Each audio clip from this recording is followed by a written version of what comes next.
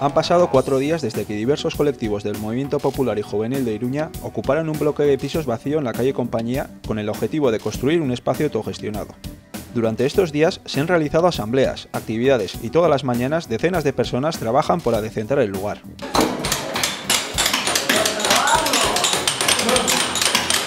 Desde el primer día, la Asamblea del Gasteche ha abierto canales de diálogo con el propietario del edificio, Gobierno de Navarra. Sin embargo, desde la Asamblea han anunciado que tras la versión difundida por el Gobierno se oculta la voluntad de desviar la atención sobre una realidad muy diferente.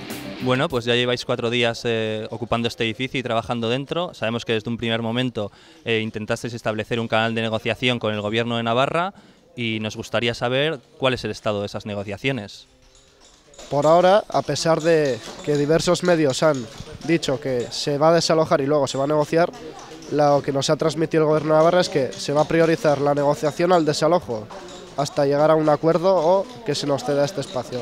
Hemos tenido conocimiento a través de Europa Press que Nasubinsa, que es el ente público que gestiona la vivienda en Navarra, había decidido destinar este edificio para vivienda social para jóvenes. ¿Qué es lo que sabéis vosotros a este respecto?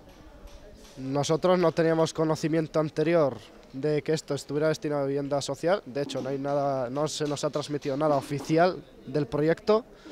Y el Diario de Navarra daba a conocer que ayer se decidió destinar esto a vivienda social después de la ocupación.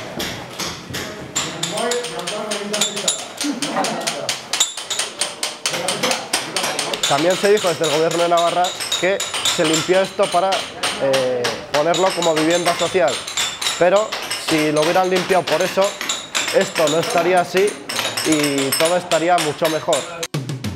Y desde el punto de vista legal, ¿Cómo enfocan las abogadas del Gasteche de Iruña la situación en la que se encuentran? Bueno, lo que es evidente es que está existiendo que existe un espacio vacío y que la Administración no solo tiene este, sino que tiene otros espacios vacíos y que esta situación entendemos que también incumple sus propias normas, puesto que tenían que gestionar para el uso público estos espacios y que el hecho de tenerlos vacíos y sin ningún uso están incumpliendo ellos sus obligaciones como Administración.